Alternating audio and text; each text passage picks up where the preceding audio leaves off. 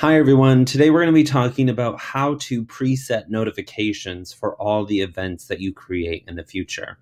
So, what you're going to need to do on the left side, you're going to have to look through your calendars and decide which calendar you want to do these presets for. I'm going to pick this one. So, then I'm going to click on these three vertical dots, and that will open up this screen. I'm going to click Settings and Sharing and that's going to bring me to this screen. Now on the left side, there are some options and I'm going to click on event notifications, which will bring me to this section.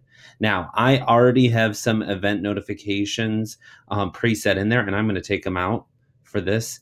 Now what you need to do is you need to add notifications just like you would do with any event. Um, but again, remember this is going to set it up so that every note, every event you have, these notifications will be preset. So you decide between email or a notification. Uh, and then you're going to decide how much time before that actual event you would like to be notified. So, usually for the events I am going to be participating in, I like to be reminded about 30 minutes before. So I'm going to set that one. Um, and then again, you can change over here from minutes to hours to days to weeks.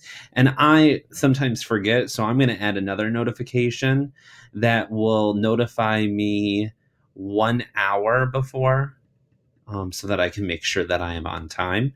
And so now all I have to do is click this back arrow and those two notification settings are now set for every single event that I have coming up in my calendar and any events that I create in the future. I hope you enjoyed this short tutorial on how to preset notifications within Google Calendar.